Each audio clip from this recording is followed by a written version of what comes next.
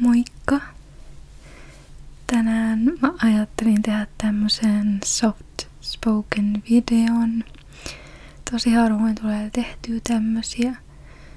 Mut sit mä ajattelin kuitenkin, että mä en tänään kauheasti höpöttele.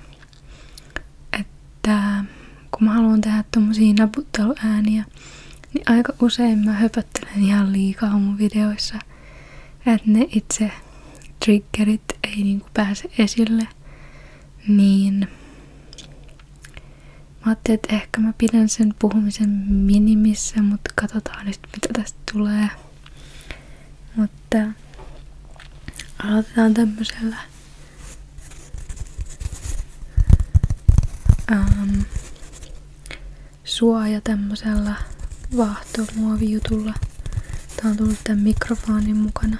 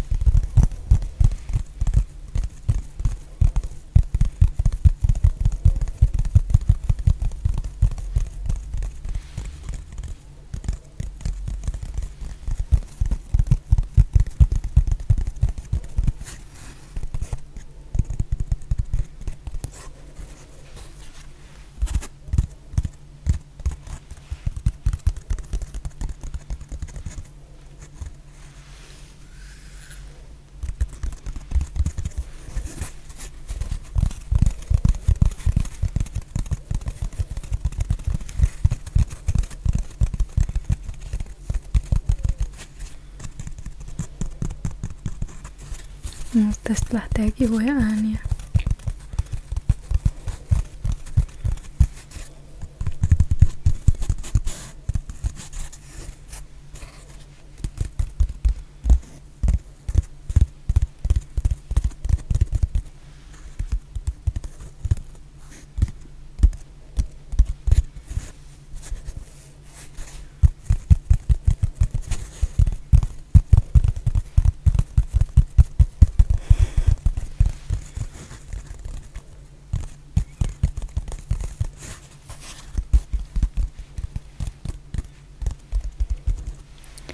Siirrytäänkö seuraavaan?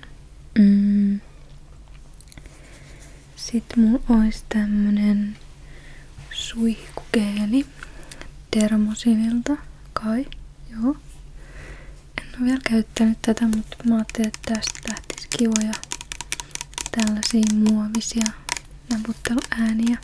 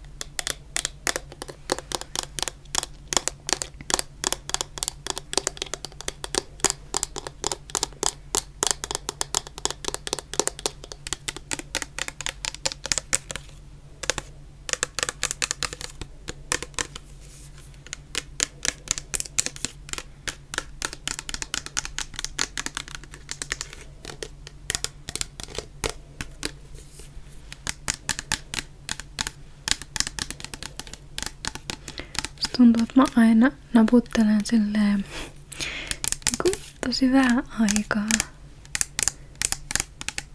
Sitten mulle tulee jotain mieleen ja sit mä vaan alan selittää siitä. Ja ajattelin, että ehkä tässä yhdessä videossa vois keskittyä enemmän tähän äänten tuottamiseen.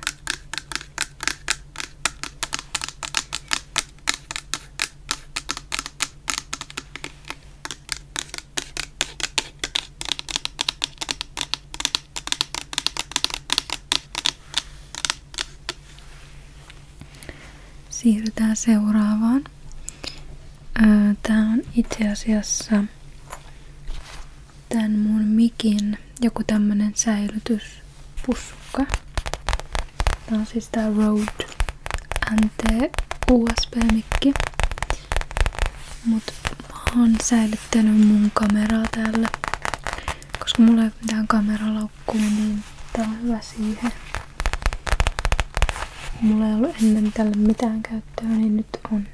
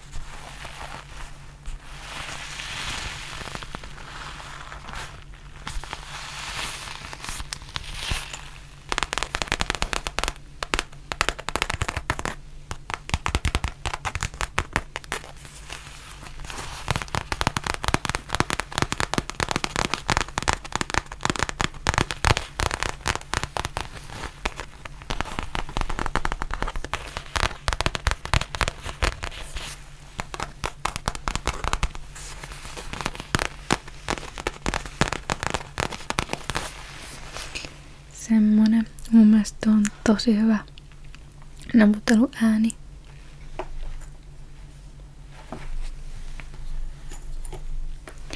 Seuraavaksi mulla on semmonen esine, mikä on tälle ajalle niin semmonen, tai niinku, että tää kuvaa tätä aikaa. Ja se on tietysti maski paketti.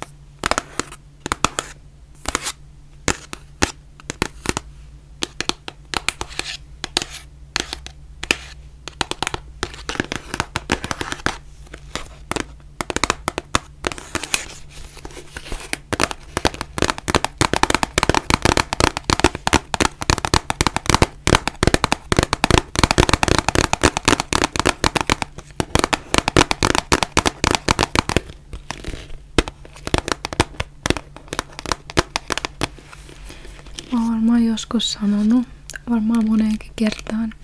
Mut mulla ei ole tässä kädessä semmoista samanlaista motoriikkaa kuin tällä. Et mä pystyn näin sormella tälleen tosi nopeasti ja niinku vaihtelemaan niitä sormia. Mut tällä mut nää on niin jäykät, mä en oo tottunut käyttää tätä kättä. Mut ehkä se on niinku ajan kanssa parantunut vähän se.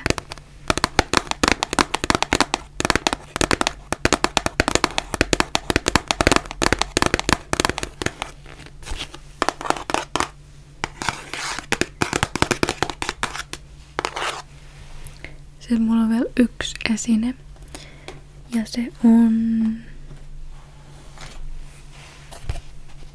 tämä. Tää on 2011 Euroviisujen tämmönen hiilimatto.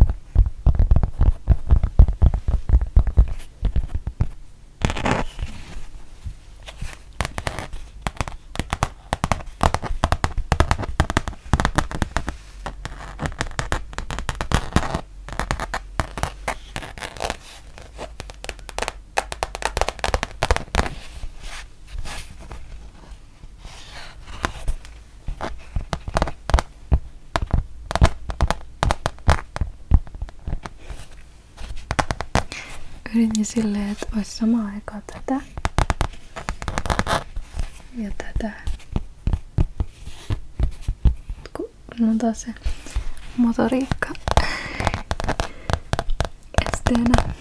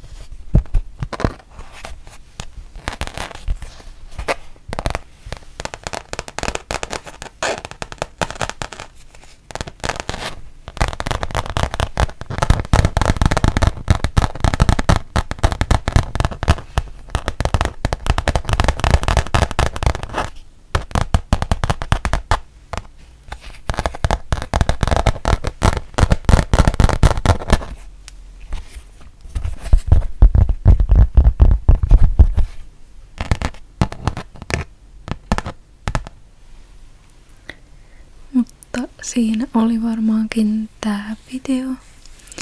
Oli kyllä hauskaa naputella. Tuntui jotenkin, että pääsi liian helpolla, kun ei tarvinnut keksiä jotain juttua. Mutta toisaalta varmaan ihan kiva joskus näinkin. Että joskus ne triggerit voi olla pääosassa, että mulla kuitenkin on niin paljon niitä videoita, missä mä höpöttelen, niin kivaa vaihtelua. Ja oli muuten ihan hauskaa puhua tällä soft spoken äänellä. Mä tiedän, että jotkut teistä tykkää tosi paljon soft spokenista. Mäkin tykkään, jos on niinku joku semmonen miellyttävä ääni. Se on kyllä kivaa. En mä tiedä mitä muuta, mutta toivottavasti tykkäsit videosta ja hyvää yötä. Me nähdään ensi kerralla. Siihen asti. Moi moi!